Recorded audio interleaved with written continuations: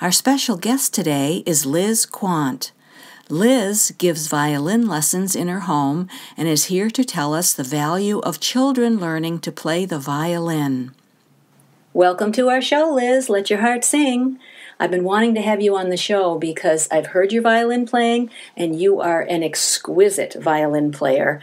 And I know that you're also a gold mine of musical knowledge, especially about the violin.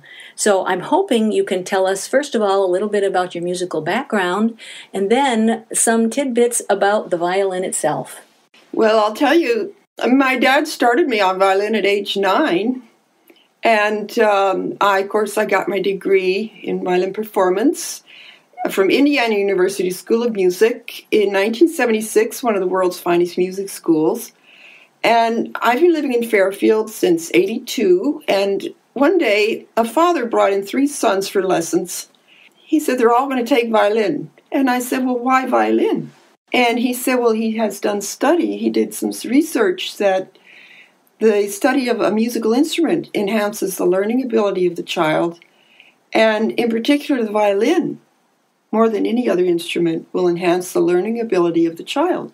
Oh, that's good news. I played violin as a child. Yeah, I know when I practice, I feel very clear after yeah. I practice. So for him, it was a study of the violin. And you know, a history of the violin, a little something interesting here. The violin is a direct descendant of the sarangi, which is used to play Indian ragas. The sarangi has 12 strings, and it's very difficult to play. So, a lot of people in India use the Western violin to play sarangi music. Um, the purpose of the sarangi is to develop the heart. Now, each of the Gandharva instruments has a purpose. You know, in Western music, the violin sounds like the woman's voice more than any other instrument. The woman's voice is always being considered to be the most beautiful instrument.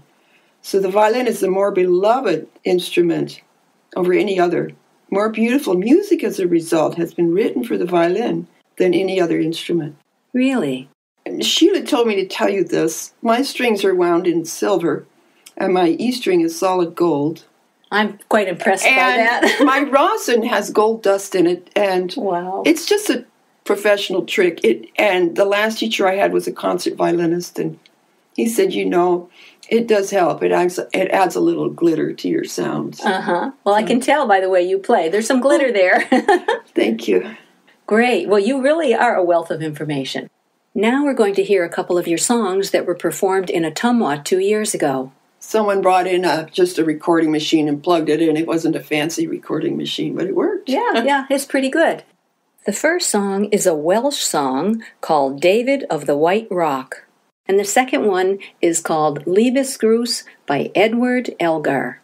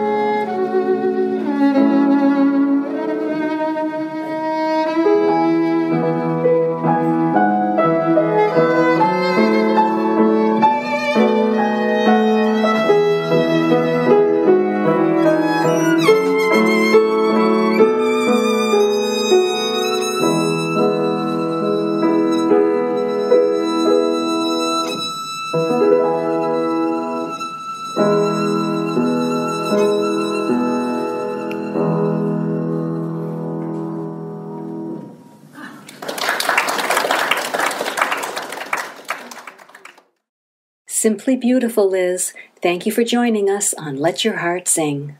Thank you.